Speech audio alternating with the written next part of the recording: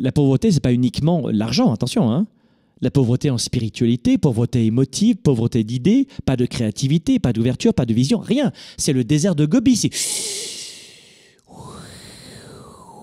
le désert de Gobi. C'est comme dans les westerns, tu sais, les trucs qui roulent.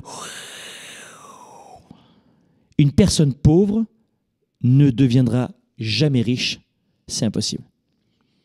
Une personne pauvre intellectuellement.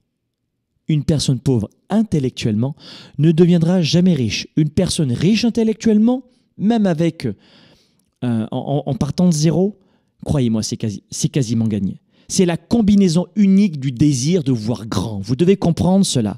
Donc de planifier, de faire des efforts, de persévérer, de voir grand, ça va, ça va vous permettre à, cette magie d'opérer. Et c'est ce qu'ont fait les grands rêveurs en 1960 qui ont, qui ont dit et qui se sont dit Je marcherai sur la Lune dans 10 ans. On fera marcher un gars sur la Lune. Et c'est ce qui s'est produit. Donc apprenez à affronter vos peurs. C'est la première des choses que l'on fait quand on veut enrichir sa vie. On marchera jamais sur la Lune. Oh mon Dieu, on va exploser. T'imagines un scientifique qui dit ça en 1960 non, jamais, ce sera possible. On pourra jamais, jamais, jamais. je suis sûr que c'est jamais, jamais. J'ai trop peur, trop peur, trop peur mais on n'aurait jamais fait le moindre progrès dans notre vie. Alors évidemment, euh, c'est l'exemple de la Lune. Et tu vas me dire, bah, c'était plus facile pour eux, c'est des scientifiques. Moi, euh, c'est la même chose pour vous.